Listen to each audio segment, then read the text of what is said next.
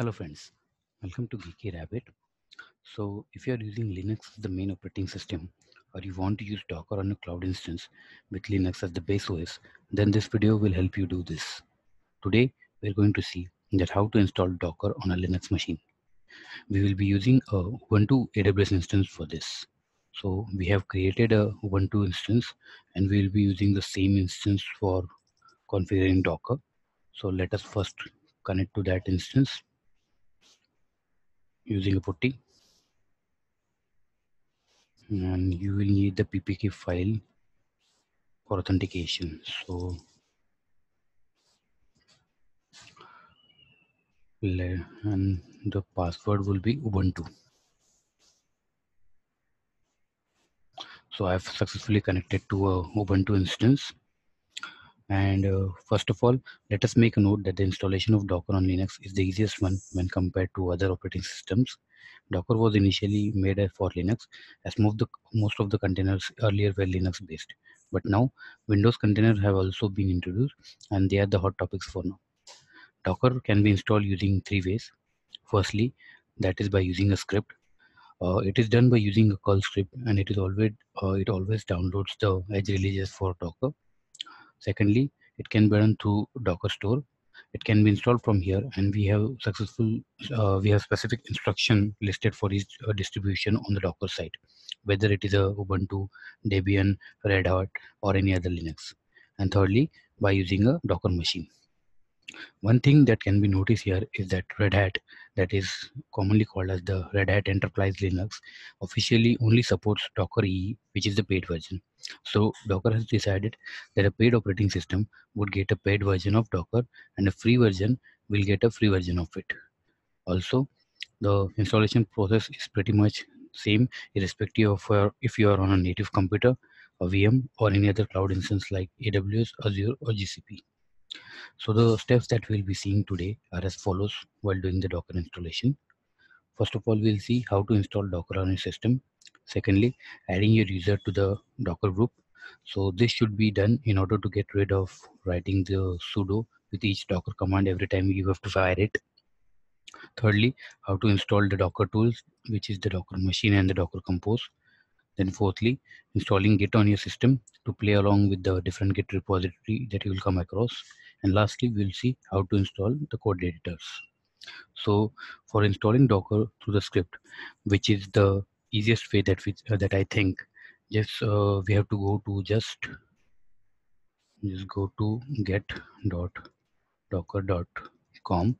So once you hit it, you will see a set of commands. And uh, there are two sets of command which is necessary. So you have to fire the curl command on the ubuntu instance and we have to run this sh.script so let us copy this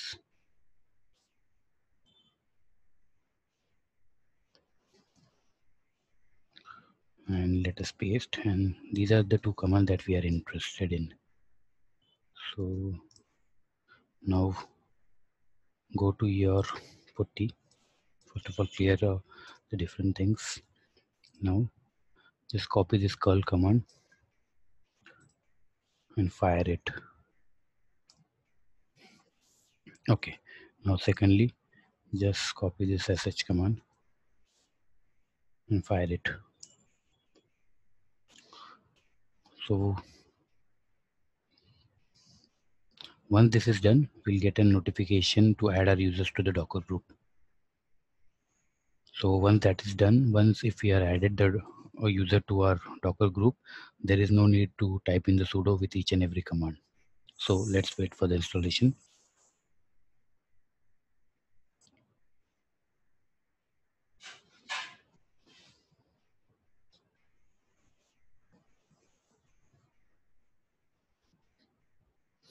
And now you can see that the client as well as the server version that is the 19.03.1 for Docker has been installed.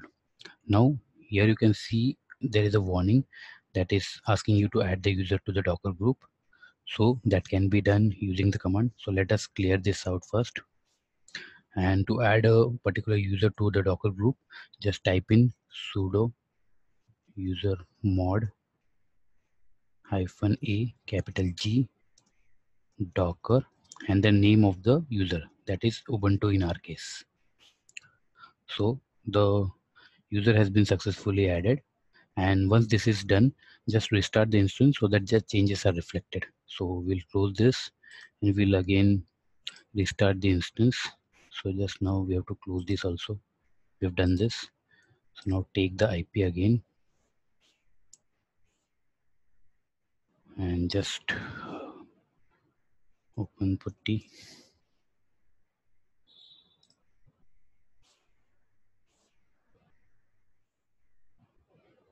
I hope you know how to connect to a particular AWS instance using a putty as we have not covered that in this part.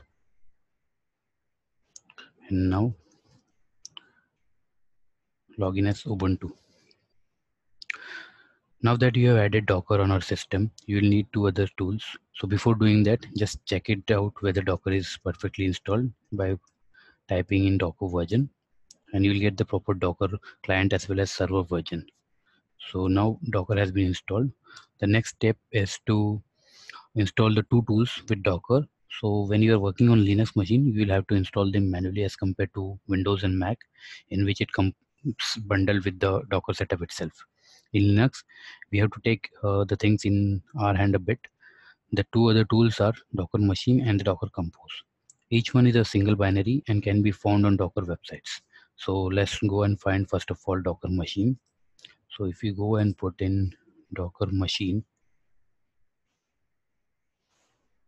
on the Docker docs page, you will get more information about it. So just click on install Docker machine.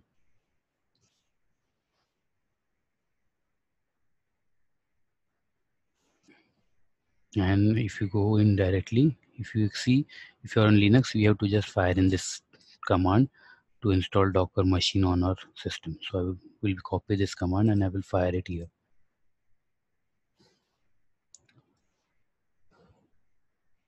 So you can see the Docker machine installation has started.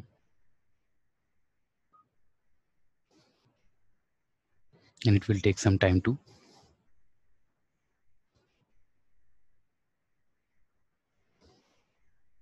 Meanwhile, we'll go and just load the page for Docker Compose also. So just type in Docker Compose. And you will file install Docker Compose also. So here you will get all the installation details on as to how to install this on Windows, or Windows Server or Linux. So these are the commands that we need to fire in. So Docker machine has been set up and now to check the Docker machine version, just type in Docker machine version and you will get the Docker machine version in here. So you can see Docker machine version 0.16.0 and the build number is updated here. So in the same way, we can also install Docker Compose. Just open up the wiki page and just fire in this command to install it. Also, there is an alternative way to do Docker Compose installation, which we would be checking now. Just uh, go to the GitHub path and find the latest release which is there on the Docker Compose. So let us type in github.com docker compose. So it is also available publicly on GitHub. And just go to the releases part and you will find the latest version of Docker Compose in here. So now one thing that you will notice here is this release and the Docker Compose release here. So this release varies a bit. So if you can see the release which is here is 1.24 and the release which is here is the updated one.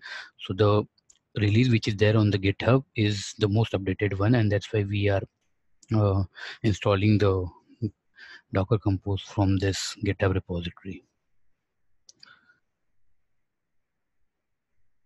So you can see that the documentation website is clearly a little outdated when compared to this GitHub version of Docker Compose.